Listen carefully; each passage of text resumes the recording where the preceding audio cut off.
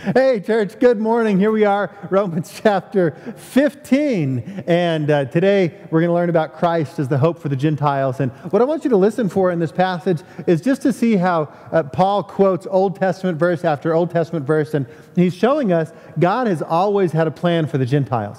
And he shares it with the Jews in the Old Testament and with us. And so we should see that Gentiles were always part of God's plan for God's uh, providing salvation to the whole world, that we could all glorify him uh, listen to, to the way Paul says it. He says, I, I tell you that Christ became a servant to the circumcised to show God's truthfulness, in order to confirm the promises given to the patriarchs, and in order that the Gentiles might glorify God for his mercy, as it is written, Therefore, I will praise you among the Gentiles and sing to your name.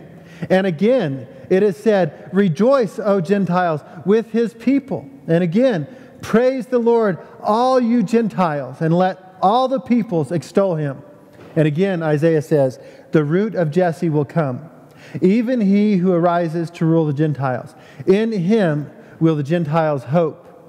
May the God of hope fill you with all joy and peace in believing, so that by the power of the Holy Spirit you may abound in hope. And so here we are, uh, Paul kind of wrapping up the letters. He's going back. A lot of these themes have been um, spoken before by Paul, but if you can imagine the church, different people, Jews and Gentiles. And again, he's hammering this point. He's saying, hey, uh, y'all, God always had this plan to reach the world with the salvation of Jesus so that God would be glorified, lifted up, and praised. And in that, we have hope.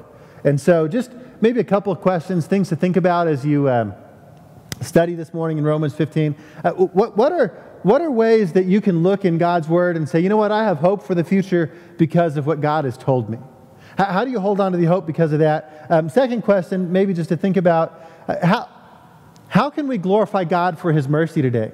If you look what, what, uh, what Paul says, verse 9, this happens in order that, or for the purpose of the Gentiles, that we might glorify God for His mercy. How do you glorify God for His mercy?